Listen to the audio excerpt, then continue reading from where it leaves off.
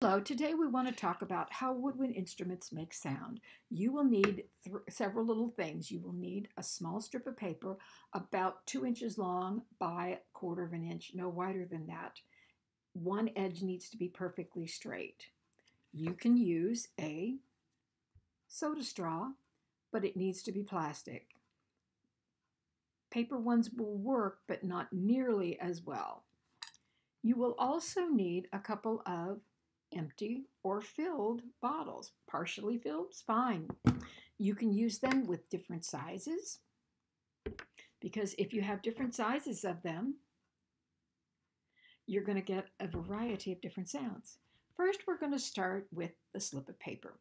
All woodwind instruments have built into them something called an air splitter. And this little piece of paper is going to show you how that works.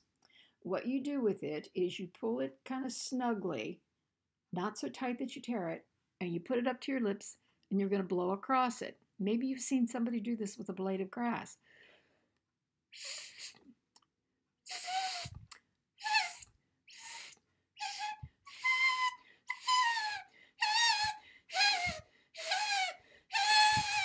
And you'll get some pretty weird sounds.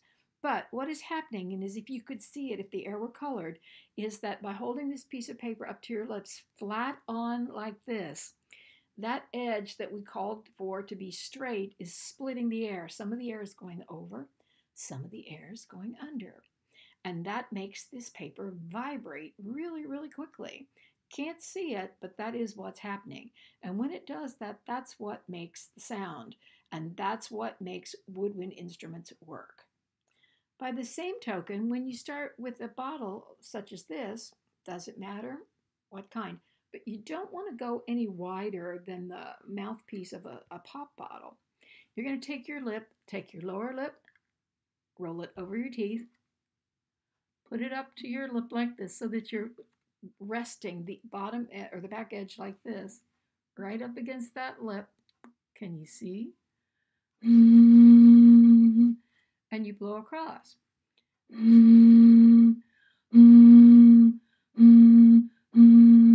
If I do this often enough, you will notice that the inside there starts to fog up.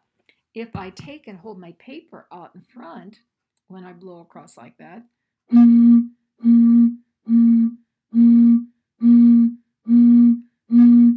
can see that the paper moves, which will maybe give you a better idea of how some of the air goes down in and some of the air goes across. Now, this is one bottle.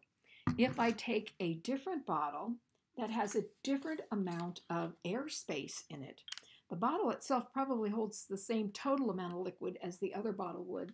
But if I blow across this one, and the less air you have, air space you have in it, the harder it is to get it to work.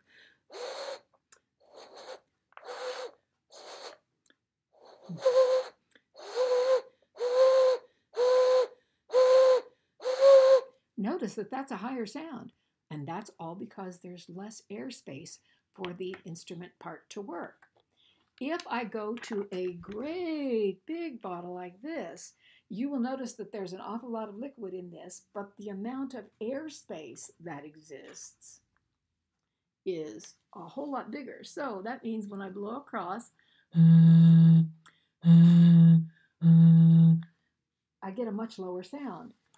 The amount of airspace is what's going to decide whether it's going to make a high sound or a low sound.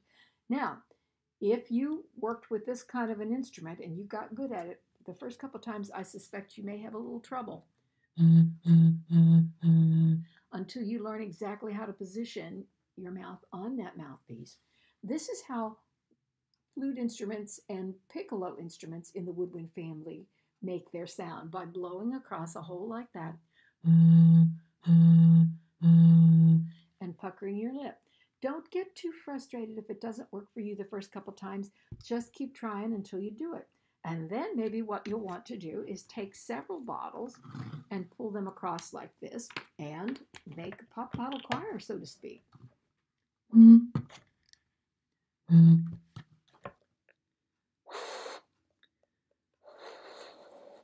Or drink some water out of there and make it work a little easier.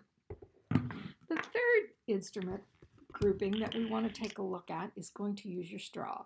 You will probably need an adult to help you, but what you want to do, my straw, as you see, has lines on it, and I've already cut it, but you're going to take your scissors, you're going to go in there, oh, about a half an inch, and you're going to cut a slit on that side and a slit on that side.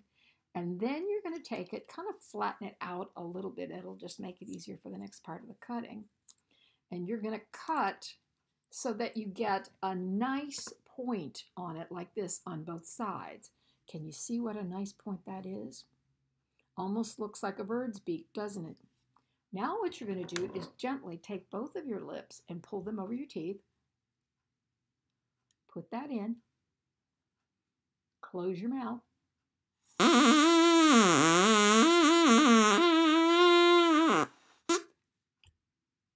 Interesting. Now, oboes and English horns and bassoons will make sounds that way. They sound a whole lot better, but that also has to do with what the rest of the body of the instrument will look like. What you want to do is